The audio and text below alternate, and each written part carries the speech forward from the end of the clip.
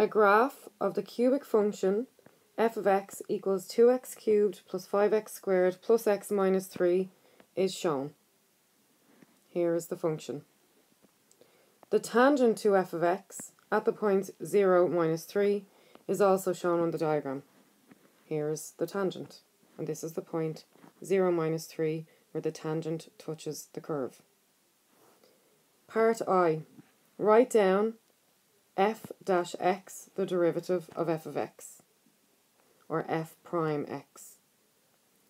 So what we have to do is bring down the power in front and reduce the power by 1. They are the steps involved in differentiation. So we bring down the 3 in front of the 2. 2 multiplied by 3 gives us 6. And 3 take away 1 gives us 2. We repeat the step with the next term. We bring down the power in front and we reduce the power by 1. Bringing down the power in front, 2 multiplied by 5 gives us 10.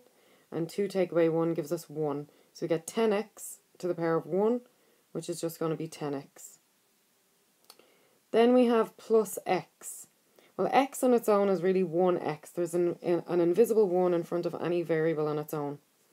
So what we're going to do is cancel out the x and just bring down the 1. And then we have minus 3, which is a constant, and we cannot differentiate a const constant because dy dx means differentiate y with respect to x, and there is no x involved with minus 3. So we're just going to cancel that out. So the derivative of the function 2x cubed plus 5x squared plus x minus 3 is going to give us 6x squared plus 10x plus 1. Part 2 says, hence find the slope of the tangent to f of x at the point 0 minus 3. So when we see the word slope, we want to think differentiate. So we're trying to find the slope of the tangent, so the slope of the line to f of x at the point 0, 03. So this is the point 0, 03, so we're basically trying to find the slope of this straight line. So to find the slope of the tangent at a particular point, we substitute the x coordinate of the point into the derivative. So it's very, very important that we sub in the x coordinate to the derivative, not the original function. So we found the derivative to be 6x squared plus 10x plus 1 in part 1 of the question. So now we need to substitute 0 in place of the x in each term. And we're subbing in 0 because 0 is the x value in the coordinate 0 minus 3. We do not sub in the y value. So f prime 0 is going to be 6 times 0 squared plus 10 times 0 plus 1 because the derivative was 6x squared plus 10x plus 1. So all I've done here is just swapped the x values for zeros and I got that because the x part of my coordinate is 0. Okay, 6 times 0 squared is 0, that cancels out. 10 times 0 is 0, that cancels out, so I'm just left at 1. So the slope of the tangent to the curve at x equals 0 is going to be 1. So the slope of this line here is 1.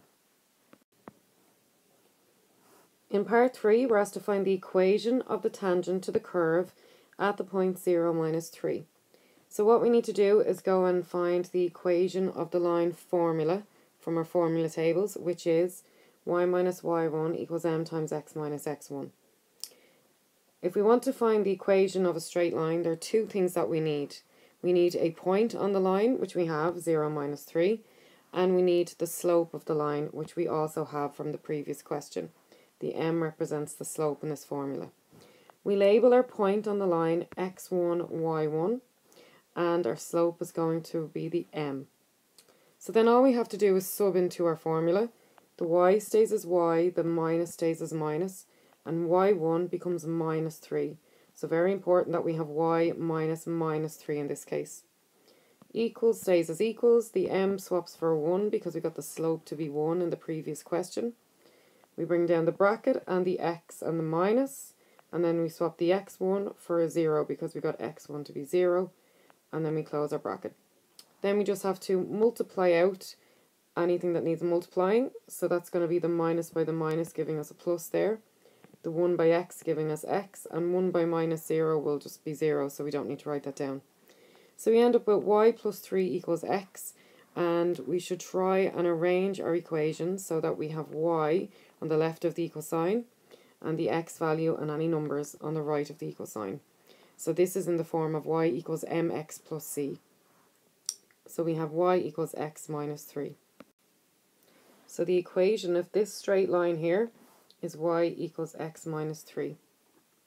So it has a slope of 1 and it crosses the y-axis at minus 3. So that's how we have the minus 3 there. This is known as the y-intercept.